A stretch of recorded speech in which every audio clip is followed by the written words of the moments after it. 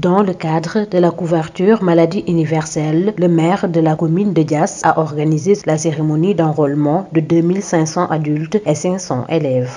Qui nous a fait l'honneur d'assister à cette importante activité d'enrôlement.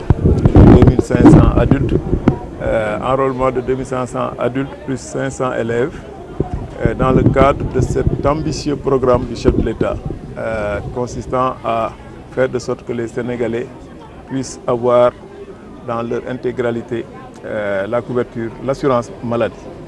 Euh, comme nous le savons, le chef de l'État a inscrit cette année euh, dans le cadre de l'année sociale.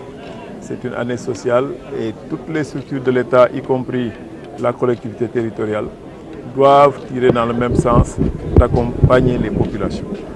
ici à Dias, nous avons une mutuelle très dynamique et nous nous sommes appuyés sur cette mutuelle en tant que mairie, en tant que conseil municipal, pour pouvoir faire cet enrôlement, avec l'accompagnement de l'agence nationale en charge, n'est-ce pas, de la couverture maladie universelle.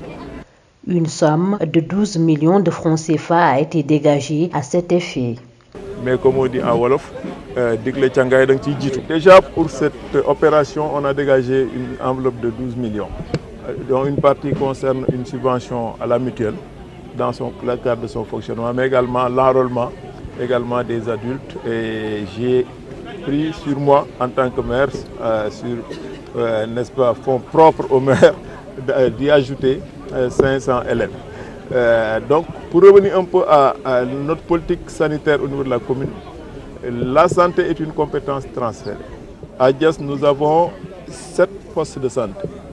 sept postes de santé nous avons décidé, en accord avec le médecin-chef du district, euh, de diriger un des postes en centre de santé avec un investissement de plus de 200 euh, millions qu'on va mettre. Euh, le, le, DAO est pratiquement prêt. On doit faire même l'appel d'offres dès la semaine prochaine.